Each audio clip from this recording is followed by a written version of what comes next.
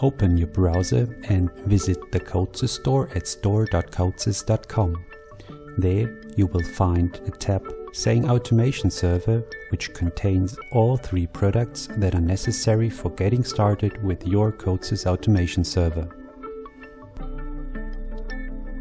Open Codesys Automation Server and enter your desired hostname, which will later also be part of your personal Codesys Automation Server URL. Continue to the next step. Check the details of your order, terms and conditions and privacy agreements, and confirm your order. A confirmation email will be sent to your email address. Switch to your email client and open the confirmation email.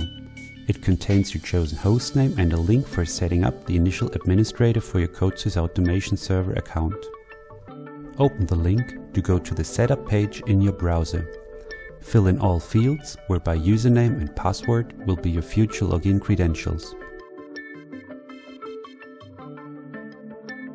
Confirm your entries to complete the creation of the initial administrator account. The URL of your Codesys Automation Server account is also shown.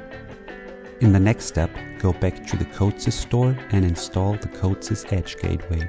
This extended Codesys gateway enables communication between your control network and the Codesys automation server. The following steps refer to your local installation on a Windows PC.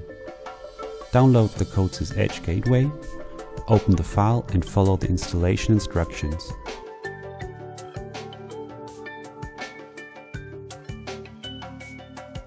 Wait until the installation is complete.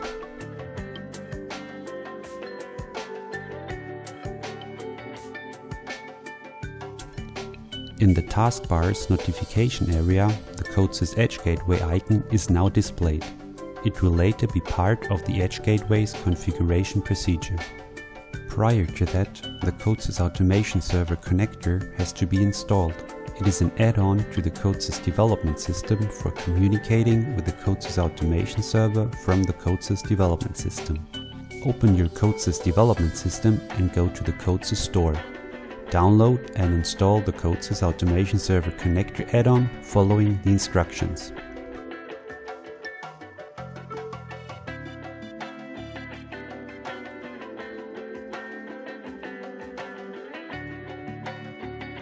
After the installation, a restart of the Codesys development system is necessary for the changes to take effect. After the restart, a new menu item is available at the menu bar. Connect your Codesys Edge gateway to the Codesys automation server, open the new item and select Connect Edge Gateway. Enter your automation server's URL and the hostname or IP address of the device on which the Codesys Edge Gateway runs.